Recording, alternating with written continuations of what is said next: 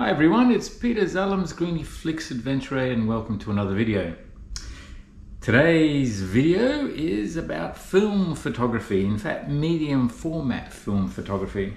I don't know whether you've noticed in my studio, the Bronica.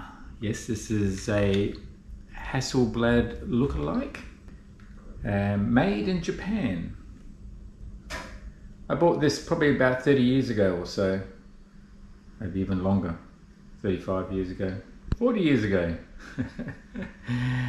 and uh, the last time I used it was probably about uh, 20 years ago, maybe 25 years ago, a long time ago. Anyway, let's uh, do a bit of a review of this camera. Now, going through my archives and my, my stocks of stuff, photographic stuff that I have, I did find some film, and I've actually got quite a few rolls of this too. And it's uh, Fujichrome film. 100 ISO with a use by date of 2002. so 20 years old. What's the chances of this being any good still?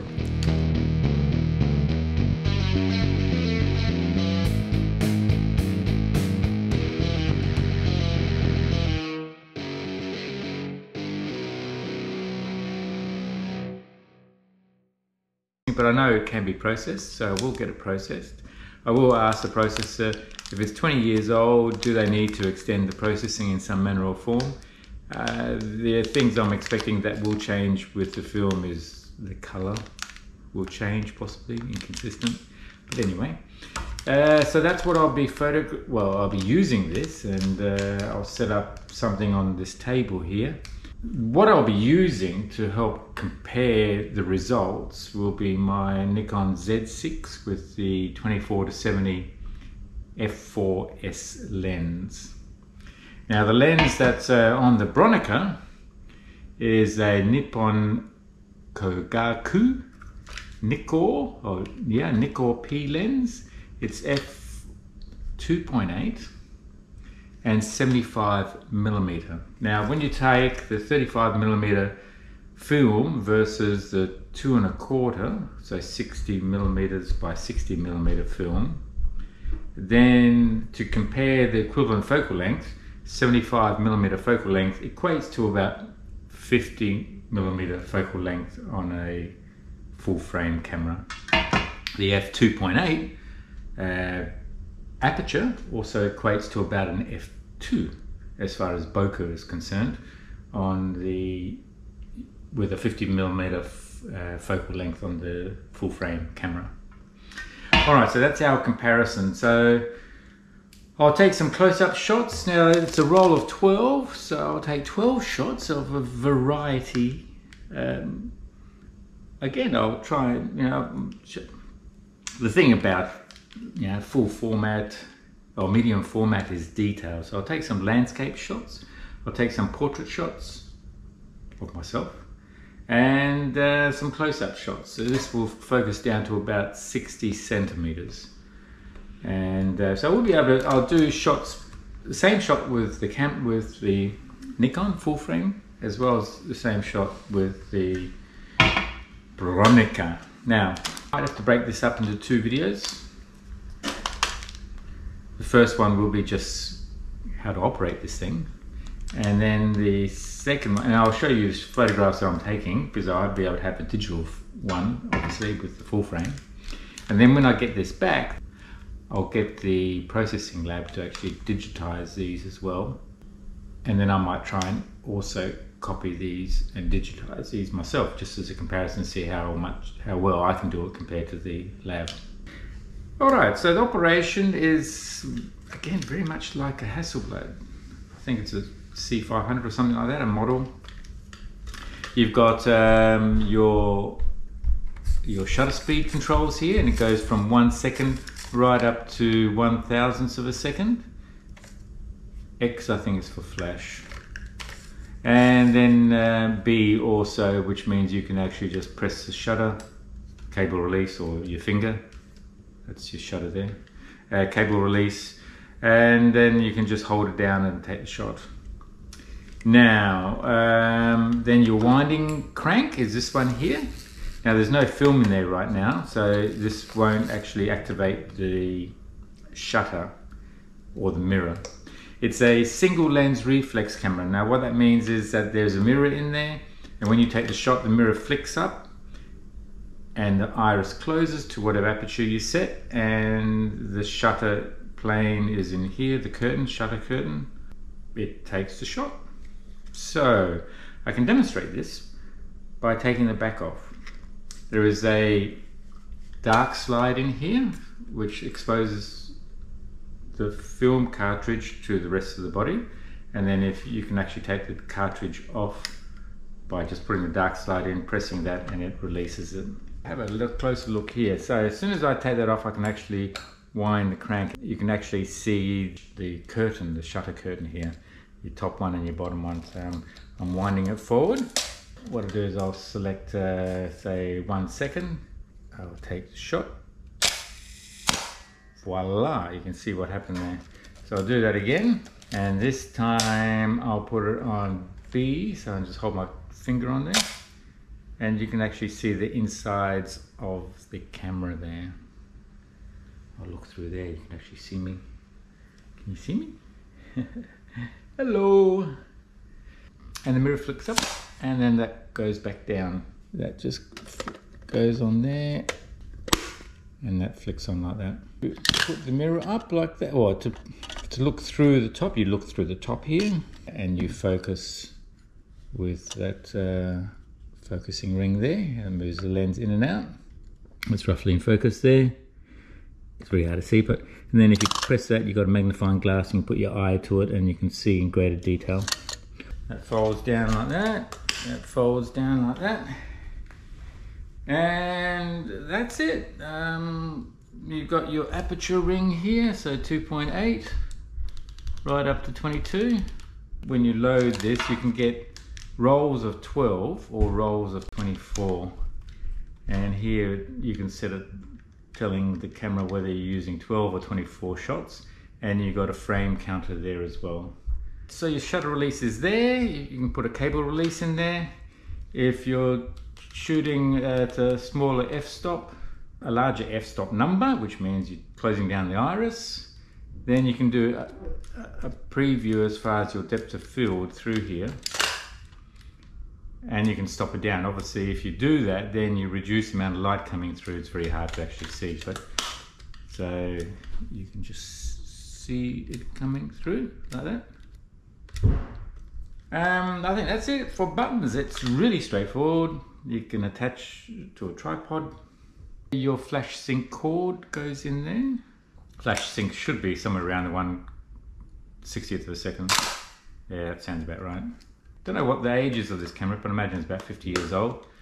But it's in good working condition still. I did do a bit of a clean up. Uh, I had to sort of dismantle this a little bit, which wasn't too bad. I can go maybe make another video as far as how to dismantle all this and do give it a bit of a clean as well. All right, so now the back, the film. We have to put in the film. I haven't done this for so long, so let's see how my memory banks go. All right, so there you go. So I've got my dark slide in there, all prepared, that's fine. That flicks up, and then we've got close and open. That opens up and then we can squeeze, pinch these two rollers here and then we can take the whole cartridge out. Okay, it only goes in one way, so we've got all the ratchet gear system here, gear system there for the film advance. Just put that aside for now. Okay, now we've got the the take up spool, which is that one. Now normally when you've just um, used up a roll of film, all the film will be on there and then you would just take that out and that's the whole film, all the film would be wrapped in there. You take that to the processing lab to get it processed. Now you're grabbing a new film. It's got to be loaded on this side. So you've got to transfer the empty spool onto the onto the ratchet side here. Okay. And when I load the film, it will be loading this way, around there, around there, around there, and then into that slot there, and then you can wind forward like that a few turns, and then you put it back in there. Let's give this a go. All right, this hasn't been opened. It's it's oh, it's 2002. So what does it say to be used by a certain date? 2003. Okay, so used by the fourth month of 2003. Mm. Okay, here we go. Now theoretically you can load this in daylight. Theoretically. Here it is, the Fuji Provia, Fuji film, Provia. Load in subdued light. right. it's not subdued. I got bright lights here. Okay. Well, that's what it says. So I might have a bit of light coming in from the sides. It'd be interesting to see whether that occurs or not. All right. So I'll take off that tag. ISO 100 daylight. That's a film. Okay.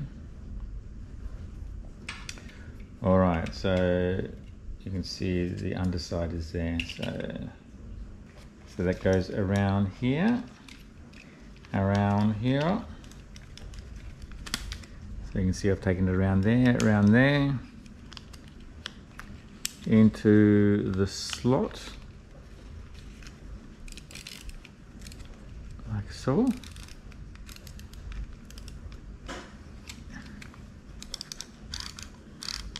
Okay, that's wound on properly. Okay, so that's good, that's good, that's good.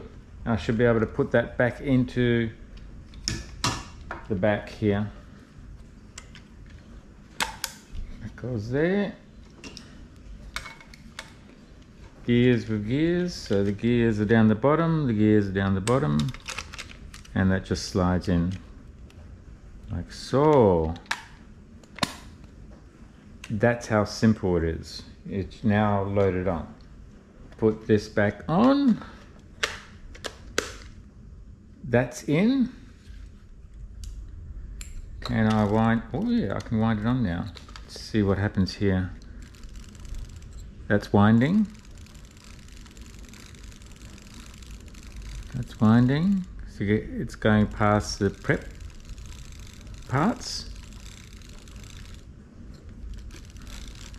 and we're getting to one.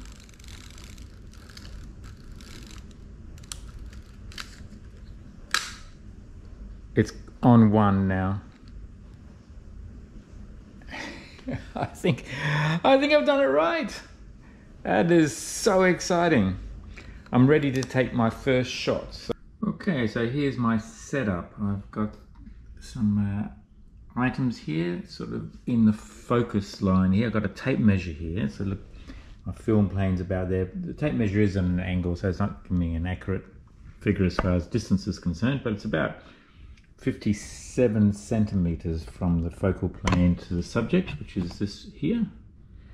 And then I've got some things in the foreground and some stuff there, plus my television in the background there. So that's gonna give me a fairly nice image. Okay so I'll take the shot with my I'll take the shot first with the Z6 here. I'll set that at around the 52 I think that's what I measured it at I'll just put that here and my focus point will be this little dream catcher right here, which is in line with the shells, and then we'll go from there. So on the Z6, I'm limited to F4. Okay, so that's my shot. I've focused in here on the dream catcher which is nice. We're looking at around the 580 millimeter mark on the tape measure in this setup. So I'll repeat the process with the Bronica now.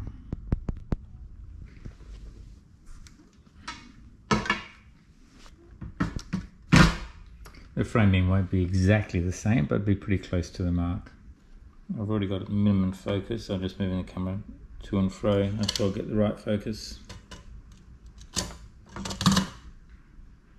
That looks about right. So the exposure that I had here was 1 15th at f4 at 100 ISO. It's 100 ISO. We're shooting at 2.8 and therefore the shutter speed should be 1 30th of a second. So that's what I'll do. I don't have the cable release with me. Take the shot as it is. Are we ready? Here we go. Ah, okay. There's a reason for the dark slide. So you don't take accident exposures. Okay, so we'll take the dark slide out. That will help. And let's take the shot. Whoa! How's that? So I'll be taking a quarter of a second exposure. And uh, a similar shot. Okay, here we go. I think I'll move the camera. This is why you need a cable release.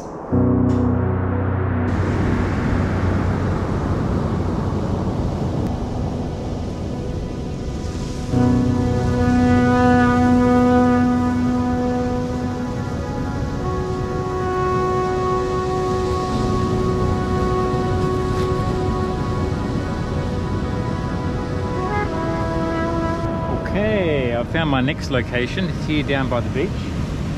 And I've already scouted with my Nikon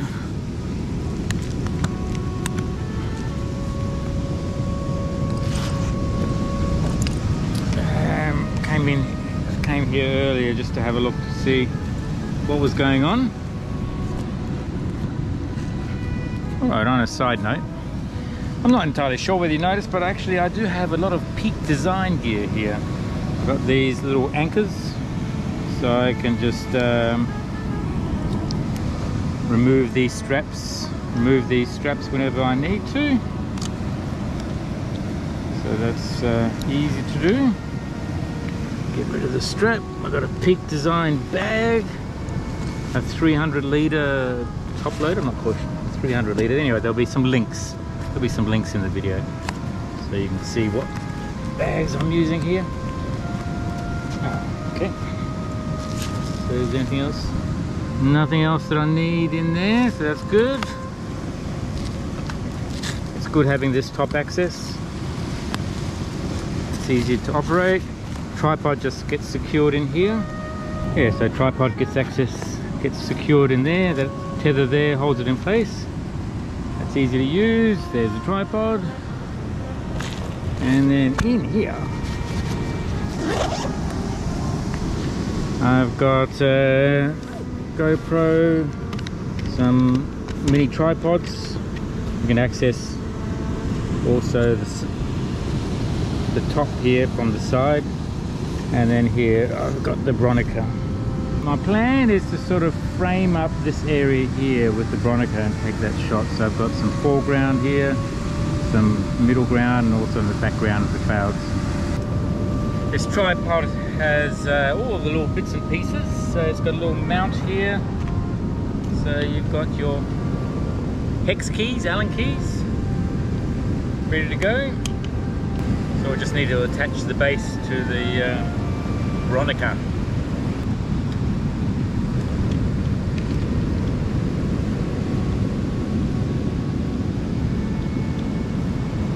Okay, that's locked in place. Take a shot with this camera. Similar, similar view and see what sort of exposure I need. So if I'm shooting f11, f11,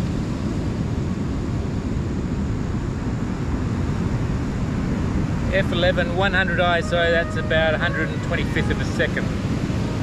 I'll just take that shot. Have I got a reference shot? It looks okay. This is a rectangular format where, so if I take uh, two shots and I can stitch them together, that's what I'll do. Okay, two shots, I'm to probably stitch those together and see what it looks like. That's my reference shot. Take out the slide. Shot. That's it. Let's uh, choose another location now. Next location, okay, I'm here and we're photographing in that direction. We've got a surfer out there. So, how clear is that?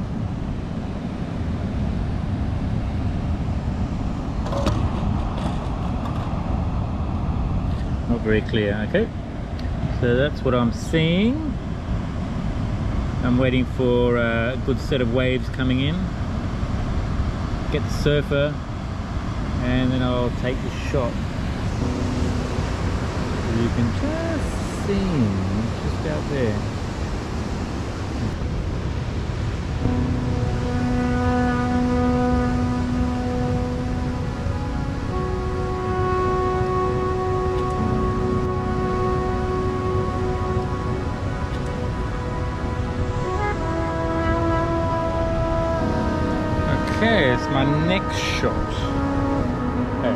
My composition is this area here. Um, I guess I'm going for all sorts of detail. It'll be interesting to see what sort of detail the medium format picks up compared to two shots stitched together with the Z6. Well, I guess I'll do the Z6 shot, Nikon Z6 shot first and get all the exposures right and then we'll do this one here.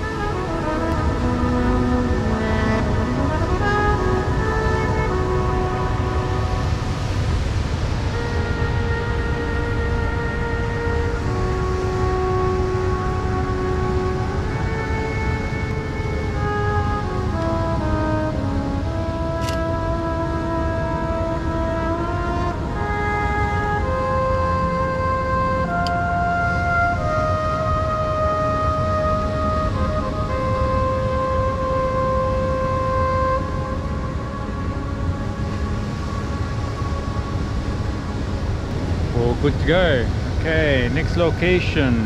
What am I gonna do? What am I gonna do?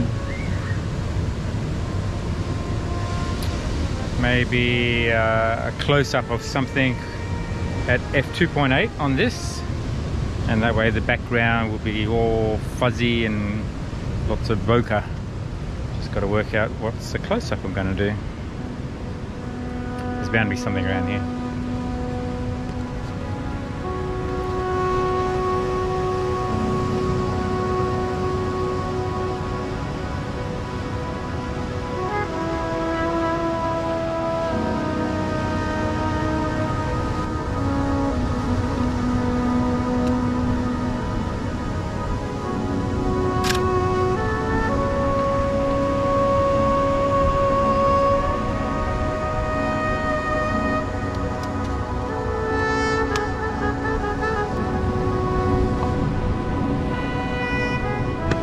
I think that's it for daylight shots.